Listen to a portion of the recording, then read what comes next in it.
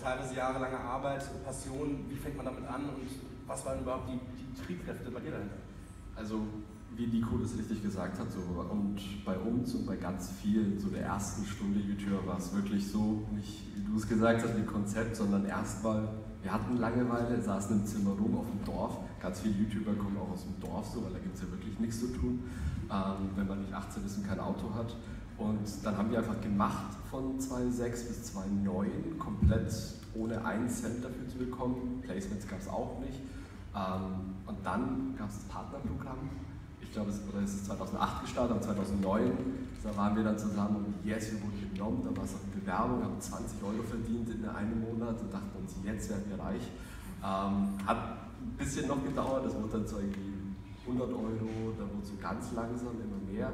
Ähm, aber das war wirklich sehr, sehr viel Arbeit und dann haben wir gemerkt, okay, wenn wir jetzt wirklich nach der Schule Gas geben wollen, jetzt nicht mehr bei Mama wohnen, dann müssen wir jetzt schon versuchen, ernsthaft Geld zu verdienen und dann erst versucht, das quasi wirtschaftlicher zu denken, wie können wir das jetzt ein bisschen, ohne, das, ohne unser Gesicht zu verlieren, wie können wir das erweitern oder so ein bisschen den, weil wir haben dann auch später ein Team uns eingestellt, weil wir gesagt haben, okay, wir wollen schon mehr Qualität liefern, haben dann irgendwann teilweise zehn Leute, die das mit uns gemacht haben, weil wir gesagt haben, wir sind die, die am Ende drüber gucken und ähm, ohne uns geht nichts raus, aber wir können nicht mehr jeden einzelnen Schnitt selber machen. Also es war quasi eine eigene Firma am Ende wir haben, genau, wir haben das dann so ein bisschen nach und nach eben das, was geklappt hat. Wenn es ja nicht geklappt hat, haben wir gesagt, ey, dann jetzt doch nicht mehr, das wieder zurückgefahren. Wir haben alles irgendwie mal versucht, ein Buch und zwei Bücher, ein Album, Tour und so, immer so ein bisschen, was, was können wir machen, ohne dass wir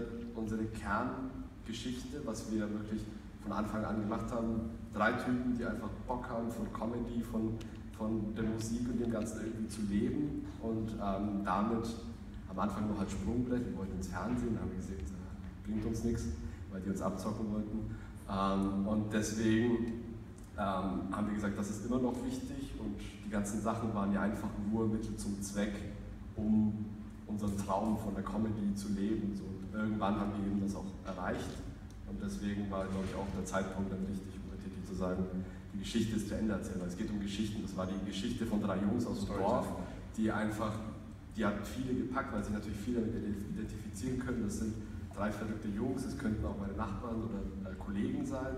Ähm, und das hat die halt gepackt. Und irgendwann waren wir es gar nicht mehr so, weil man konnte sich gar nicht mehr so mit uns identifizieren, wenn wir immer nur auf Tour und alle kreischen und so, damit kann sich ja keiner identifizieren. Deswegen ja, muss man aufhören, wenn es am schönsten ist.